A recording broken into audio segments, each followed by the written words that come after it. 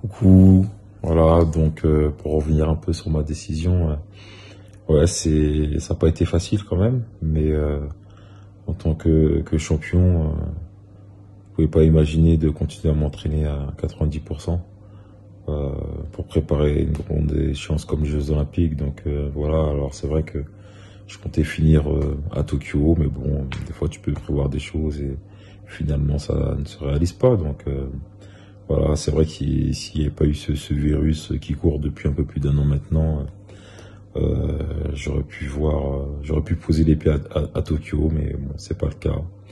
Euh, je tiens à remercier la, Guadeloupe qui m'a soutenu du début jusqu'à la fin.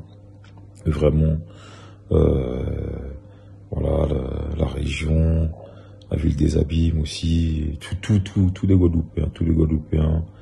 Euh, ça a été une force pour moi en plus, justement tout au long de ma carrière, et encore plus dans les moments, euh, dans les moments difficiles. Donc, euh, donc voilà, je serai à redonner à la Guadeloupe tout ce que tout ce qu'elle m'a donné, tout simplement quoi. Donc merci encore à tous les Guadeloupéens, merci à tous ceux qui ont œuvré, même ceux qui sont dans, l'ombre aussi.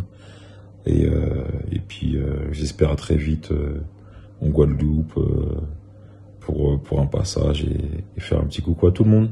Donc voilà, gros bisous à vous et encore, euh, encore une fois, meilleurs vœux.